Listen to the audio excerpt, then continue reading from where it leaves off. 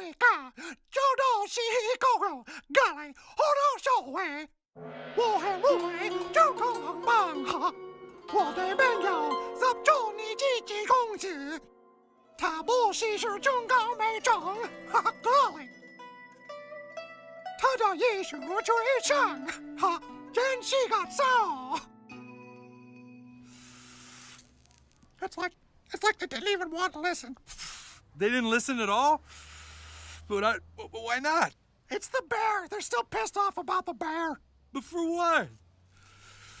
Because some Chinese people on the internet started posting pictures of their president as Winnie the Pooh. It's a real thing. Look it up, man. This is really good shit. So what if we took their side then? What if we showed China that we understand how they feel to be made fun of on the internet?